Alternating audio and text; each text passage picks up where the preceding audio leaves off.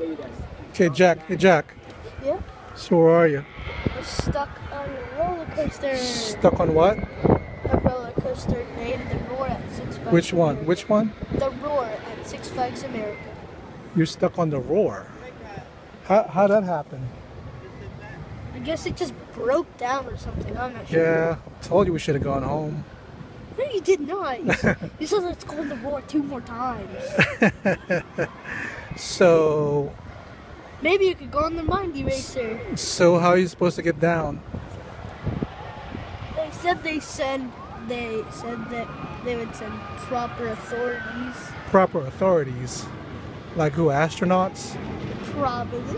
Uh huh. I think I got. So are you supposed to walk down now? What are you gonna do? May keep going. uh, All right. So I guess I better put this phone away before someone gets mad. yeah, okay. Okay. See you later. Bye bye. Peace.